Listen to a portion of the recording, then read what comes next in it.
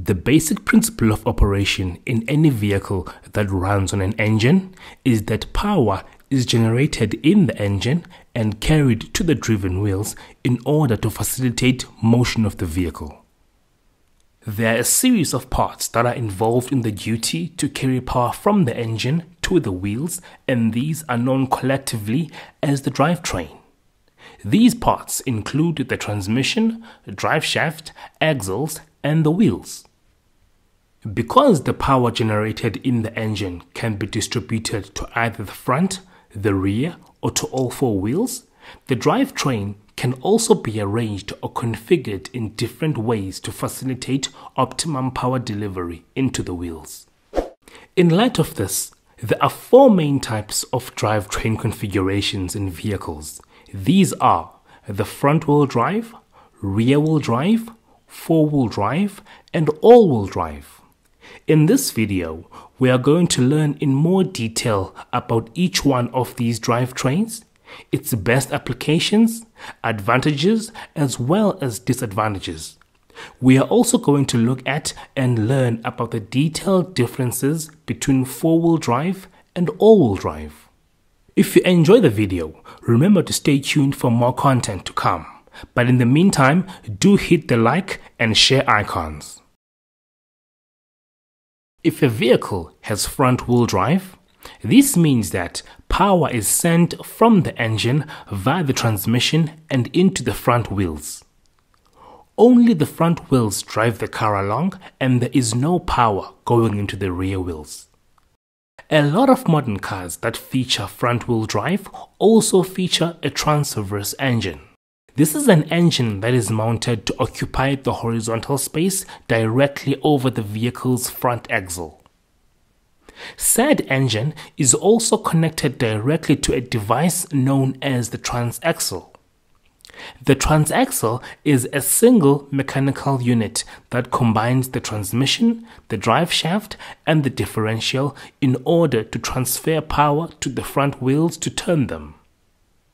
The transverse layout is the most suitable engine configuration for a front wheel drive because the engine is nearest to the driven wheels and power delivery is very optimum and convenient under these conditions. Front wheel drive dates back to the early 1900s and is currently the most popular drivetrain today. Although its most remarkable entrance into the market was through the Citroën Traction Avant in the early 1930s, its widespread adoption throughout the 2000s was influenced by the original Mini. Mini was arguably the first company in the world to create one of the best handling front wheel drive performance hatches, the John Cooper Works. Popular city hatchbacks like the Volkswagen Polo, Renault Clio, and Toyota Corolla all use front wheel drive. One of the most significant advantages of front wheel drive is improved traction, especially when driving up a steep road. The weight of the engine and transmission that sit directly over the driven front wheels helps to enhance the traction. Front wheel drive uses fewer parts and is cheaper to manufacture. This makes front wheel drive cars generally cheaper to buy. It returns better fuel economy because it is often lighter in weight. Front wheel drive vehicles are also more space efficient than other kinds of vehicles. This is because the front wheel drive mechanics are located at the front end of the vehicle, so this frees up cabin space for the passengers. One of the most well noted disadvantages about front wheel drive is that it performs poorly under low traction conditions such as water or gravel. Also, being nose heavy, front wheel drive can be difficult to control under high speed situations, especially when carrying heavy loads. This is because the front wheels carry a dual mandate to steer and drive the vehicle. Front wheel drive vehicles also have the propensity to understeer. When a vehicle loses traction of the front wheels, the car is more likely to drift outside of the curve and continue on a forward trajectory. This is known as understeer. Forward acceleration is generally poor in front wheel drive vehicles because these vehicles are heavier at the front than they are at the back, so this badly influences takeoff.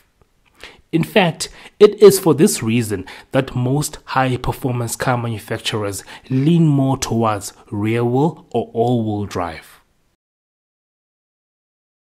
In a rear wheel drive vehicle, Power is sent from the engine via the transmission through a propeller shaft and into the rear wheels via a differential. It is the rear wheels that drive the car along the road, and the front wheels do not assume any propulsive duties, so this frees them up to steer and maneuver the vehicle. A requirement of the rear wheel drive configuration is that the engine and transmission be mounted along the vehicle's axis from front to back in a longitudinal fashion. This allows for an ideal front to back weight distribution across the length of the vehicle. It is for this reason that the longitudinal engine configuration can handle tight cornering far better than a transverse engine configuration can. In fact, this very property has influenced high performance car manufacturers to employ rear wheel drive because it also improves the handling of a vehicle. It is also for this reason that car spinners in South Africa prefer rear wheel drive vehicles over front wheel drive. More than 95% of bakkies in South Africa use the rear wheel drive layout. This is because rear wheel drive is most suitable for towing and general heavy duty due to the absence of massive weight over the steering wheels. Rear-wheel drive vehicles generally have a good handling and better acceleration from the front to rear weight distribution. They can perform towing duties more efficiently. Maintenance on a rear-wheel drive vehicle is cheaper. Rear-wheel drive vehicles generally have got poor traction over slippery roads, which makes them more prone to slipping out of the track. There is less interior space in rear wheel drive vehicles due to more space being required for the transmission and the drive shaft, hence the drive shaft hump. Four wheel drive means that power from the engine is delivered to all four wheels continuously when the system is engaged.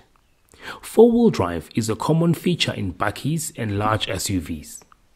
In fact, vehicles equipped with it are often referred to as 4x4s, where the first digit denotes the total number of wheels available and the second digit denotes the number of wheels which are being powered. For example, the 4x2 description for this Isuzu indicates that out of the four wheels that the bakkie has, only two actually receive power. Four wheel drive is suitable for heavy off road duty such as rock crawling, hill climbing, or wading across water. The distinguishing feature of four wheel drive is that it can be manually engaged or disengaged by the driver as required. The functioning of four wheel drive relies on two main components the transfer case and the differentials. The transfer case is a mechanical device that is located between the front and rear axles. Its duty is to transfer power from the transmission and into the front and rear axles simultaneously. In a four wheel drive system, the transfer case locks the front axle drive shaft the rear axle drive shaft such that the two move in complete synchrony to one another. The differential, also known as the diff, is the gear located between the two front wheels as well as the two rear wheels. It distributes torque from the drive shaft and into the driven wheels and allows for a speed difference between the two wheels when the vehicle takes a corner. When locked, the diff does not allow for a speed variation and it forces the two wheels to spin in unison to one another. Because the transfer case in a four wheel drive forces the front and rear axles to spin at the same speed, four wheel drive should never be engaged when a vehicle is driving over paved road, as this could severely affect the cornering ability of the vehicle. One of the best advantages of owning a four wheel drive vehicle is the traction advantage that it offers under all road conditions.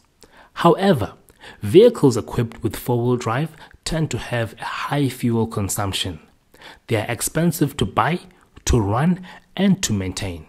And the fact that four wheel drive can only be used sparingly does throw into question the worthiness of owning a four wheel drive. With that said, however, it will depend the road conditions under which the owner of a four-wheel drive vehicle mostly drives. All-wheel drive works on the same principle as four-wheel drive in the sense that power is delivered to all four wheels at the same time. However, the major distinction between the two systems comes with the manner in which power is distributed into the wheels. When engaged, four-wheel drive splits the power from the engine in a 50-50 fashion across the front and rear axles. When disengaged, all the power from the engine in a four-wheel drive vehicle gets diverted into the rear wheels. By contrast, all-wheel drive constantly varies the power distribution between the front and rear axles according to the external road conditions. It is an automated system and it distributes power according to how much grip or traction each tire has. For this reason, all-wheel drive is always on and cannot be disengaged. Unlike a four-wheel drive vehicle that uses a transfer case, an all-wheel drive system uses a center differential to distribute power from the transmission between the front and rear axles. The drive shaft from the transmission is connected to the center differential. The center differential then acts as a transfer case and sends power to the front and rear axles. The all-wheel drive system normally comes equipped with a series of sensors that can detect how much traction each of the wheels has at any given point. Based on this, the system uses a computer to calculate how much power to send to each wheel based on the traction deficit. One of the best advantages of all-wheel drive is that it ensures a constant and adequate power supply across four wheels and can promptly compensate for any traction losses. A few disadvantages with all-wheel drive are that cars equipped with it are generally expensive to buy and they are less fuel efficient. They are also heavy and complicated to fix and to build because all-wheel drive generally uses more parts. Because all-wheel drive is often so quick to compensate for the loss of traction in a tire, the driver may not realize how slippery or frictionless the surface is that they may just continue accelerating the vehicle whereas in front and rear wheel drive cars, any loss of traction is felt immediately and the driver adjusts their driving behavior accordingly. The question of which drivetrain is best among these four depends entirely on the situation at hand. Day to day city driving requires a light, spacious, and fuel efficient vehicle. Front wheel drive favors all these properties and is the most suitable to use around the city. Heavy duty work like towing and loading of passengers normally requires a rear wheel drive vehicle. Businesses related to vehicle recovery and the taxi industry make best use of this feature. People who drive over unpaved roads on a daily basis will benefit greatly from four wheel drive because the changing terrain and the intermittent use of four wheel drive will be fair for their use for their advantage. Under wet or snowy conditions, or even ice sometimes, all wheel drive is the most sensible because it has got the best traction and handling and it can promptly compensate for any losses of traction. Out of these four drivetrains, which one do you prefer the most and why? What drivetrain does your vehicle have and how has your experience with it been so far? Let me know all your thoughts in the comment section below. Has this video entertained, educated or informed you in any way? If yes, then do consider hitting that subscribe button because there is a lot more content coming your way. Thanks for watching. Take care, everybody.